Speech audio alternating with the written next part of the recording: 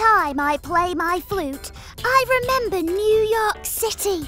There is a lot of music and art in New York. An area called Broadway is known for its theaters and shows. Look at all those lights. The white bulbs around the theater signs were first used in the early 1900s. They lit up the street and became known as the Great White Way. That's a lot of lights. The Lincoln Center has five theaters, a concert building, a library, a band shell, and two outdoor plazas.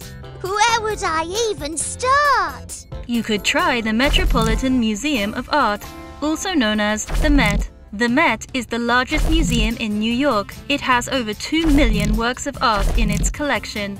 I love how much art, music and shows there are in New York. New York City, over and out.